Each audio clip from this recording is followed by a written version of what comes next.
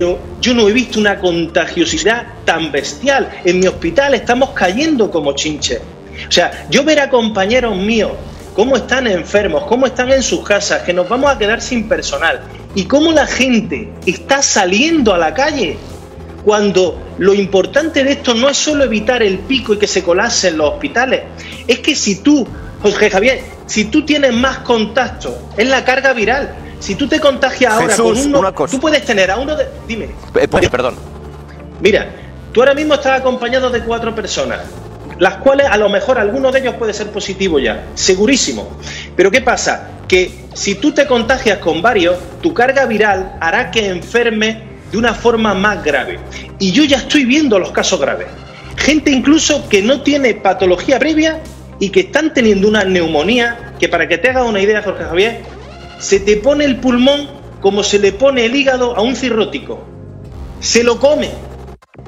La gente se está tomando esto a pitorreo porque le estamos pidiendo todos los profesionales de la sanidad pública que se tienen que quedar en sus casas 15 días para que así evitemos que muera gente, porque este virus se queda aquí con nosotros hasta que salga la puñetera vacuna, porque os lo estamos diciendo los médicos. Os lo estamos diciendo los profesionales que nos enfrentamos a algo gordísimo, lo nunca visto. Y os estamos avisando porque nosotros vamos a trabajar de guardia y estamos viendo cómo ha cambiado nuestra vida. Y me emociono cuando te digo esto porque no saben la tensión estamos acojonados. Y yo no sé cómo decirlo más veces, no sé cómo, cómo podéis vosotros ayudarnos, los medios de comunicación, con la, cantidad de gente a la que llegáis, Jorge Javier, tenéis que decirlo. No tenemos materiales. Otra cosa. Están limitando los, equipos, perdón, los equipos de protección individual, las mascarillas. Esto es alarma. Mascarillas, hostia. es que tenemos personas mayores que cuidamos también. Yo no puedo ver en los...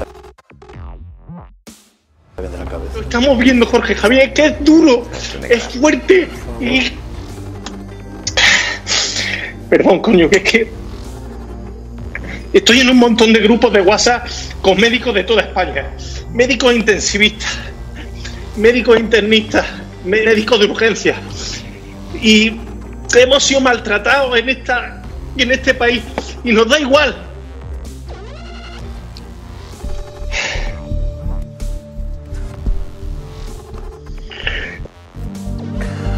Jesús, yo eh, después de escucharte, la verdad es que mm, se habla, yo creo que, estamos hablando con muchísimo optimismo del futuro, de los 15 días, de, que esto va a pasar rápido, pero mm, por lo que estás contando, esto no va a ser Jorge, Jorge Javier, Jorge Javier, este virus lo mata la solidaridad. Estamos pidiendo a la gente que no piensen que ellos están enfermos. Estamos pidiendo a la gente que piensen que ellos van a salvar vidas. La solidaridad va a matar a este virus. Es que no hay otra medicina ahora mismo. ¿Tú sabes la impotencia que es tener una mujer que te entra ahogándose como tuve la otra noche, que ya está intubada y gravísima, y ve a su hija y ver que es que no hay medicación para esto, no hay nada. Hay una sala enorme, hay una planta cerrada entera, que parece aquello como las películas de terror.